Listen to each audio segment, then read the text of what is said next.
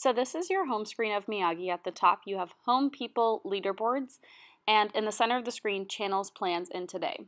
We'll focus on plans for all of our product knowledge training. At the bottom right you can see the due dates of each individual lesson plan.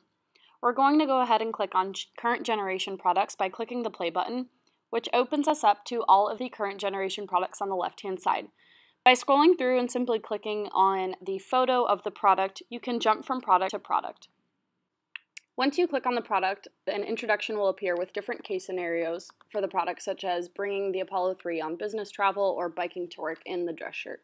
Click next at the bottom right and it'll bring you through the whole lesson. And note any previous generation names for the product or fabric family. You'll also find all of the videos Gihan recorded from the product primer, and you'll be able to put those to full screen using the button at the bottom right. Any descriptions of the technologies that are specific to the product family will live in the lesson, as well as all product master docs that have all of the different tech specifications, prices, and colorways of the product. By clicking next at the bottom right, it will take you to the final quiz for the lesson. Once you have completed your quiz, you can see your score at the end as well as your required score and if you pass the lesson. There is a place for feedback, so feel free to leave any questions, comments, or concerns at the bottom.